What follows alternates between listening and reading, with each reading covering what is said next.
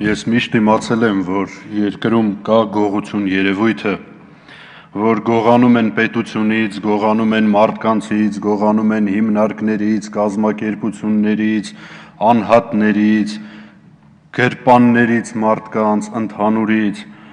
բայց երբեք չեմ պատկերացրել, որ կարելի է միանգամից գողանալ համ մանկապարտեզից, համ դպրոցից, համ բուհից, համ կոլեկտիվներից, համ հիմնարկներից, համ եկեղեցուց, համ համայնքներից, համ արտասահմանից, համ զինվորից ու ամբողջ ազգից։ Այս ունիկալ երևույթ էր։ Չկա վստահ եմ մարդ, որը տեսնելով այդ տեսանյութը չի ունեցել ցավ եւ իր մեջ չի փնտրել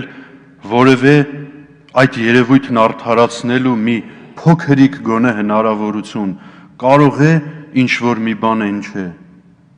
Բայց արի ու տես, որ ավելի ապշեցուցիչ բան տեղի ունեցավ։ Գողացվեց հոգի, դուխ, սիրտ, արդյունք, որը թեկուս փող, պահածո, գուլպա, շապիկ, զենք,